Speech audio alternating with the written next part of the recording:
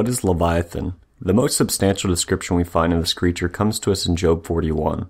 If you go read that passage, you'll notice how frequently and emphatically it is stated that this dragon is a fire breather. Young Earth creationists like those in Answers in Genesis actually bite the bullet on this one, since they can't theologically tolerate the conclusion that the Bible is simply describing a mythological dragon. They are forced to the conclusion that there must have lived alongside man some species of marine reptile that possessed the biological capability of literally breathing fire.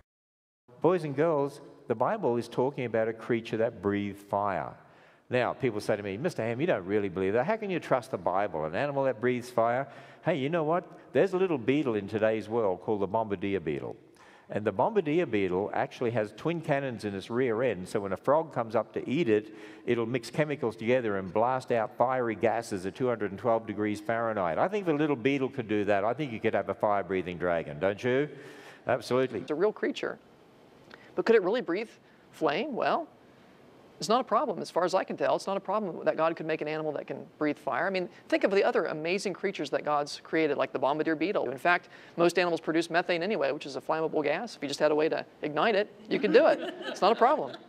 I want to show you why we know beyond doubt that Leviathan is not a member of the animal kingdom. The first clue to unveiling the dragon's identity comes to us from a biblical text frequently overlooked.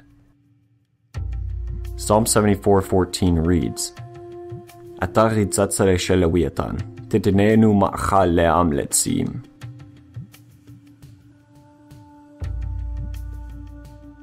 It turns out grammatically that this passage is describing a creature with multiple heads, a hydra.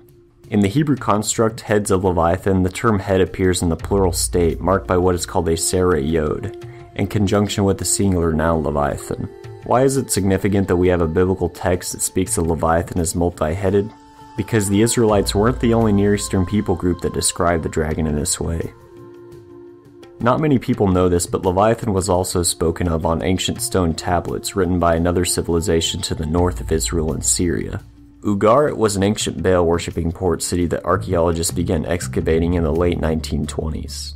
It's difficult to overemphasize the importance of this find to biblical studies because Ugarit's language is the closest ancient tongue to Old Testament Hebrew that's been discovered. Let's compare some of the lines from one of the Ugaritic Baal tablets with an allusion to Leviathan found in Isaiah. The Ugaritic passage here is older by many centuries. When you smote Latanu, the fleeing serpent, annihilated the twisting serpent, the dominant one who has seven heads, Isaiah 27 1. In that day Yahweh will punish with his greatly fierce and mighty sword Leviathan, the fleeing serpent, Leviathan the twisting serpent, and he will slay the dragon that is in the sea.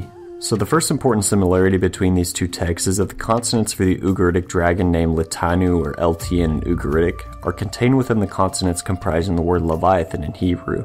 You will notice also that, like Psalm 74, the Ugaritic dragon is a hydra, in fact, it has seven heads. However, the real nail in the coffin that proves their mutual identification are their cognate titles, Fleeing Serpent and Twisting Serpent.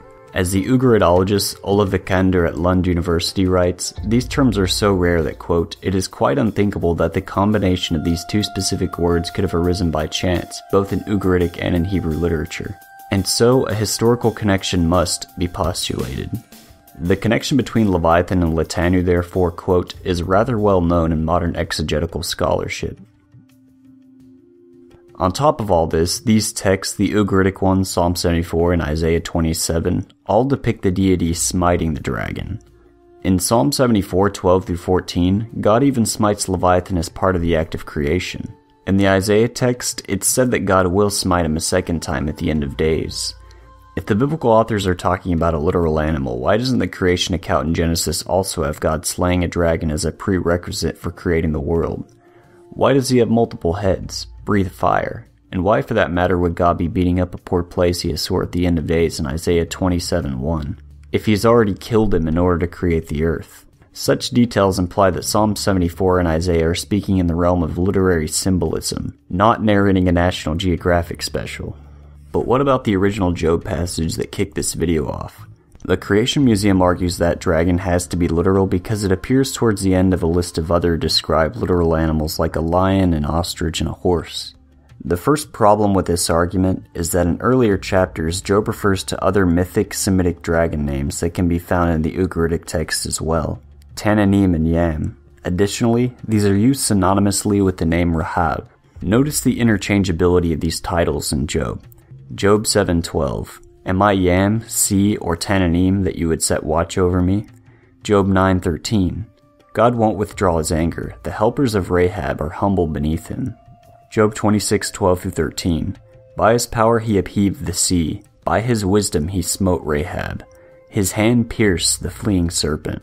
You'll notice in that last passage that Rahab is called by the same title Isaiah gives Leviathan and the Ugaritic text give Latanu, the fleeing serpent. It's also important that Job mentions Yam because in the Ugaritic text, the twisting serpent Latanu is also used interchangeably with both Yam and Tananim.